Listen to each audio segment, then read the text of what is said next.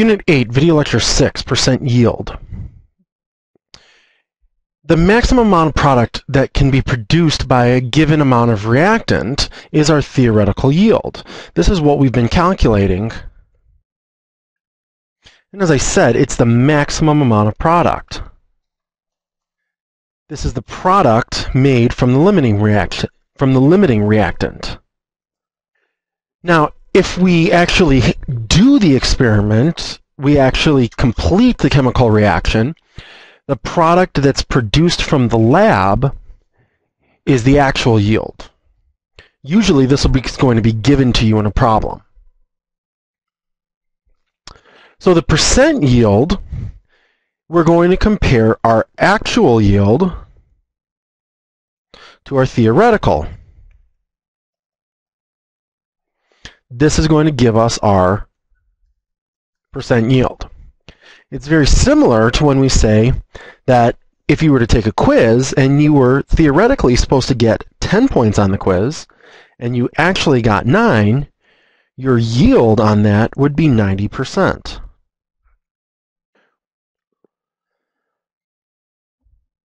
If 15 grams of copper 2 chloride react with 20 grams of sodium nitrate, how much sodium chloride can be formed? And then part B, if we actually make 11.3 grams of sodium chloride, what's the percent yield? So if we look at if we look at part A first, we take 15 grams of copper 2 chloride and we're going to stoich to a particular pro, to a, a particular product. Here we want sodium chloride. So we'll go from copper 2 chloride, we'll go from mass of copper 2 chloride to moles of copper 2 chloride. We'll do that by using the mol by using molar mass. And we'll go from moles of copper 2 chloride to moles of NaCl, and we'll do that by using our mole ratio. And then use our molar mass again to go to grams of NaCl. If we look at the molar mass of copper 2 chloride, the mass of copper is 63.55 plus 2 times 35.45. This gives us a molar mass of 134.45 grams of copper 2 chloride in 1 mole of copper 2 chloride. Grams of copper 2 chloride cancel out. For our mole ratio, we're going to look at our balanced equation we want sodium chloride, so we're going to put moles of NaCl on the top. And we want to get rid of moles of copper 2 chloride, so we'll put that on the bottom.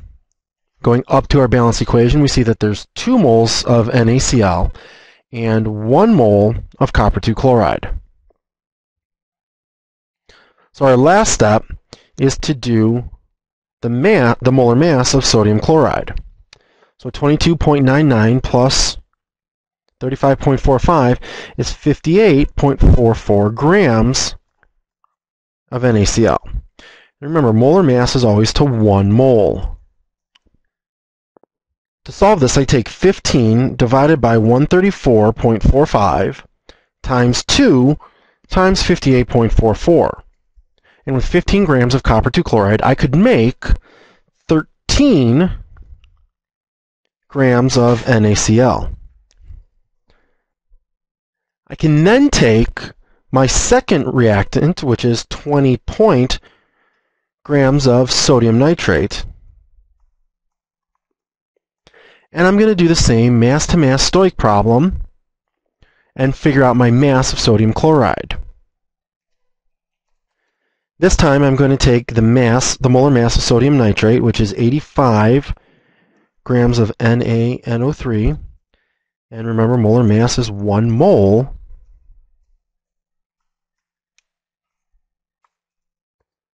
I'll then take my mole ratio.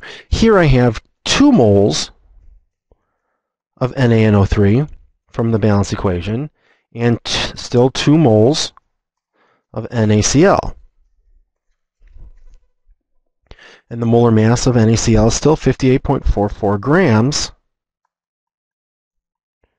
in one mole.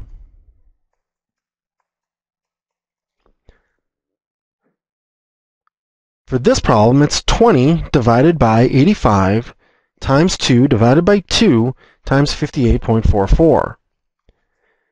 And I see in this case, with 20 grams of NaNO3, I can make 14 grams of NaCl.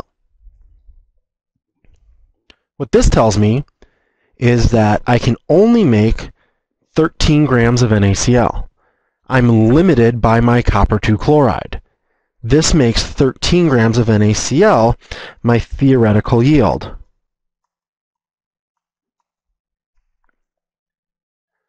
So for part B, if 11.3 grams of NaCl were actually made, and I should have been able to make 13 grams, 11.3 divided by 13 means that I have a percent yield of 86.9%.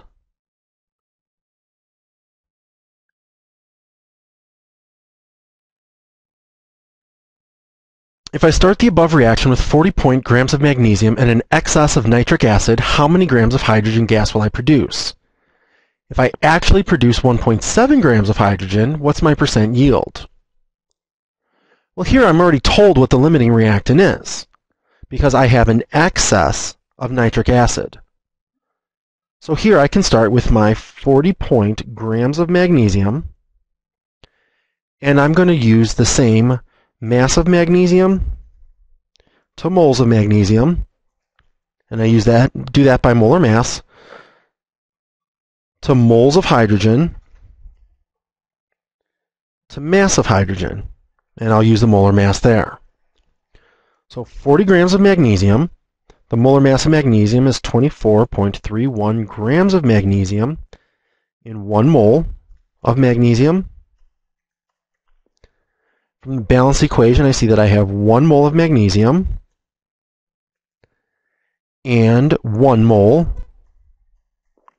of hydrogen. Remember, my mole ratio comes from the coefficients in the balance equation. And then my molar mass of hydrogen is 1 mole of hydrogen is 2.02 grams of hydrogen. Now I take 40